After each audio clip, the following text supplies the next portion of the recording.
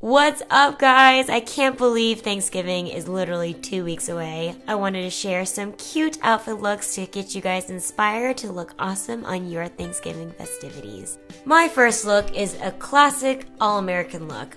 I started with a warm cream cable knit sweater and paired it on top of some bright blue distressed skinny jeans. I tucked the jeans into these warm brown high heeled ankle booties that are not only super comfortable, but they only cost 45 freaking dollars. Hallelujah. Then for my purse, I stuck with my favorite cognac reversible tote bag and then tied the whole outfit together with this beautiful red and white plaid scarf. This outfit could be super casual or it could be dressy. I just love the fact that you start with a very neutral base and you can incorporate your favorite colored plaid to just make the whole outfit pop. My second look is great if you're having a low key, laid back Thanksgiving and you just want to be comfortable. I started off with a gray long sleeve thermal top added a beautiful pumpkin colored chunky knit cardigan, and threw on my super stretchy dark rinse jeggings. For shoes, I'm wearing my favorite ankle booties. I've been wearing them every day since I got them. They're low slung, they have a nice heel, and they have double zippers for extra comfort. Not to mention, the color matches with literally everything. For accessories, I threw on some gold bangles and a little tassel necklace, and then paired it with a structured gray bag to match with the thermal top. This look is seriously as comfortable as your coziest PJs, but it's disguised as an effortlessly stylish look. Moving on to my third look, this one is for you girly girls out there or for a more dressier Thanksgiving occasion. I started off with a cranberry colored v-neck swing dress and layered on this beautiful neutral plaid open cardigan.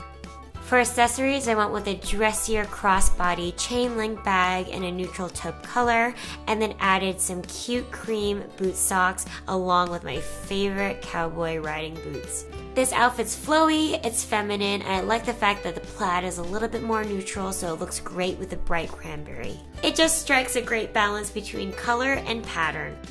And for my final look, this one's preppy, a little bit professional and equestrian. I started out with this really awesome cranberry and cream varsity sweater and layered on top a heathered gray tailored blazer. I stuck with dark rinse jeans to look a little bit more polished and threw on my dressy structured riding boots for more of an upscale look.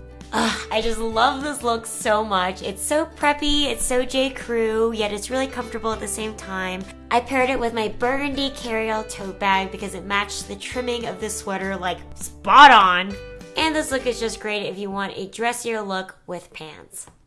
So that does it for my four Thanksgiving outfit ideas. I try to stick with those beautiful, rich autumnal colors, give you some casual to dressy options, and I hope you guys really enjoy them. Please let me know which one was your favorite down below in the comments. Alright, you guys, please give this video a big thumbs up if you want more talk through lookbooks in the future. I'll include links to all the items in today's lookbook down below in the description bar, so make sure to check that out. If you have not checked my last week's video, please click right here and head over there right now. I've got my 50,000 subscribers subscriber giveaway going on right now, and I don't want you guys to miss out. There's still another week while it's live, so make sure to get all of your entries in before then. And while we're on the topic of that video, I have to stop and verbally say thank you guys so much. I had you guys write any type of comment you wanted, and I seriously thought I was gonna get like hundreds of comments of just like fart, poop, toilet hole, just like random stuff. And you guys took the opportunity to write like the longest, most thoughtful comments.